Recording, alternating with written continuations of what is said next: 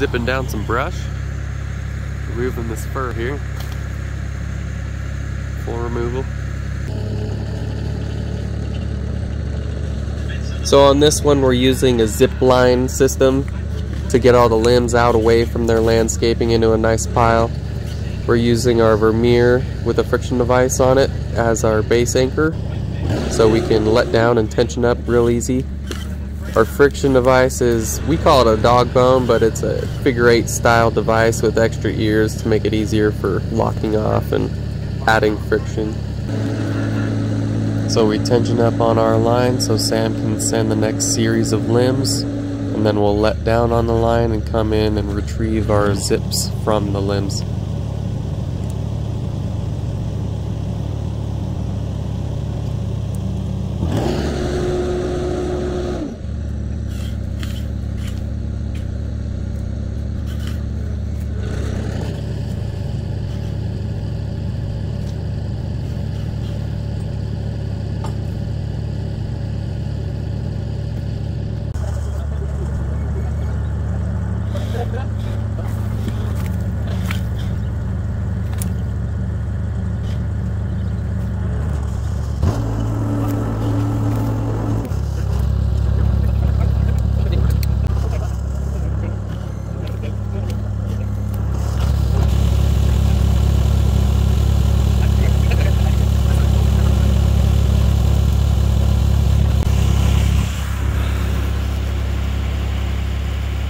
Getting ready to send the top through here.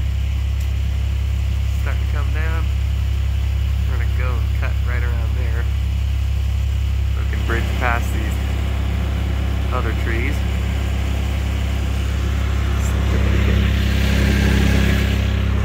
Oh yeah. Five feet below that, anywhere in there. Cool.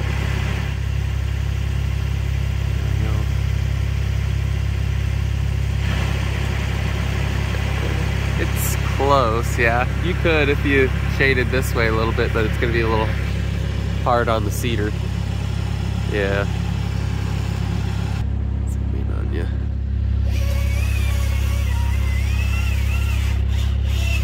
Face that tree.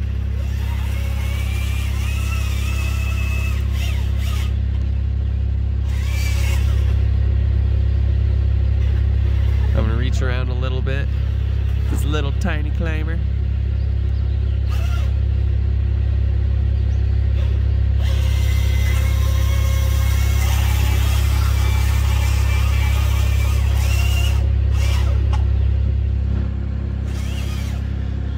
Yeah. Gonna be bringing the chipper back eventually. So we have a pull line set up in the top and we'll be pulling it over with the Vermeer. It's very important not to put too much pull on it. You really just want just barely enough so it minimizes the hinge pull on the stem that the climber is on. Makes it have a smoother ride.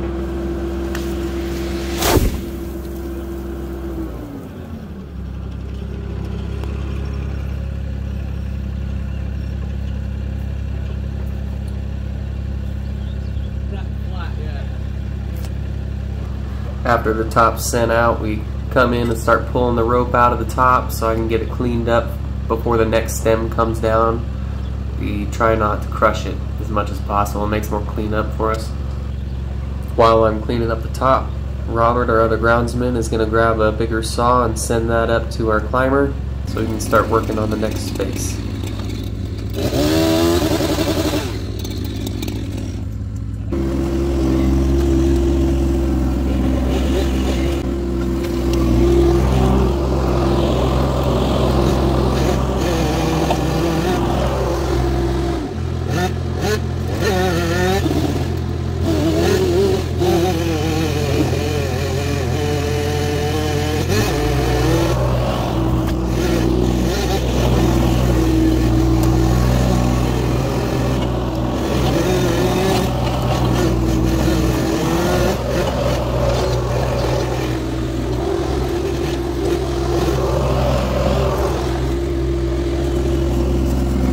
I positioned the last log out of our top down the hill a little ways perpendicular to where our next chunk will be sent. just in case it tries to roll down the hill, it won't go far. And I also have Robert put a couple faces on either side of the log so when it gets bumped, it doesn't roll anywhere itself. Got to take a chunk. Man.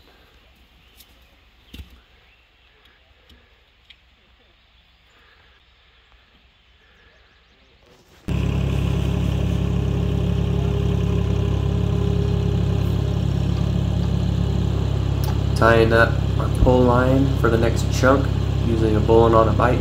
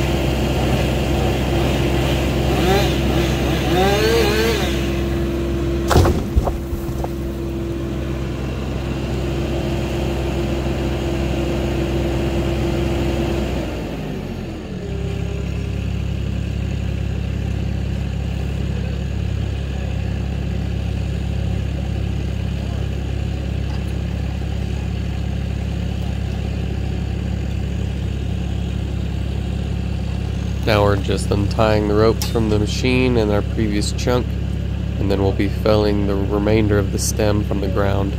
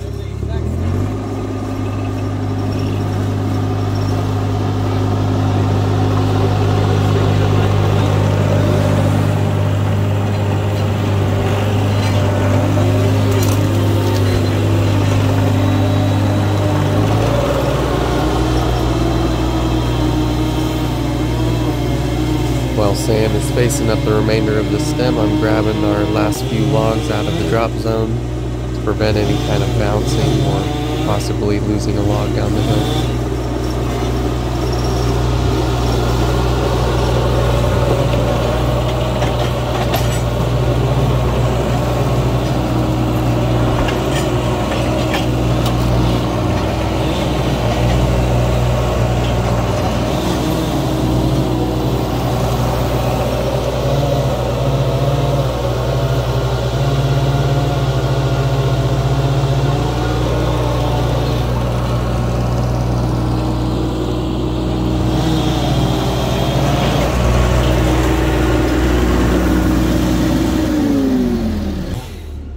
A huge advantage to using a zipline system is now all the limbs are in a perfect pile for chipping, so we can just back up when we're ready to chip and chip it all in.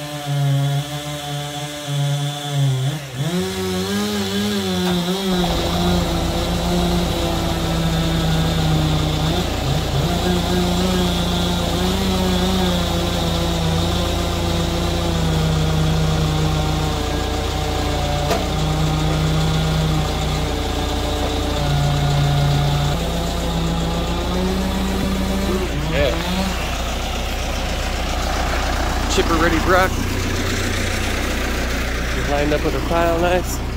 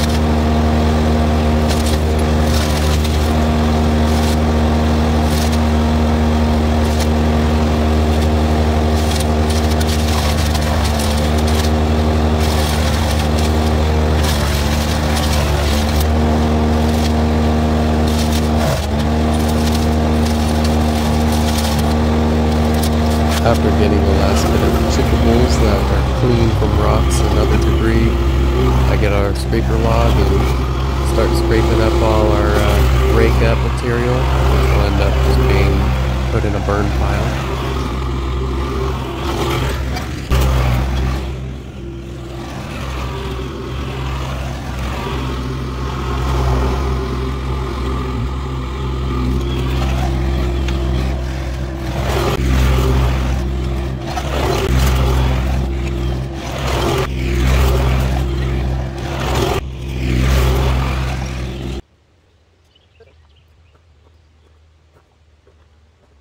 Got a sticker in my boot. There's a snake in my boot. Alright. Got her all cleaned up in the front here, mostly. And take a hand rake over it. And then we're getting up into this tree back here. Sam's up in there. Then we're on to the next.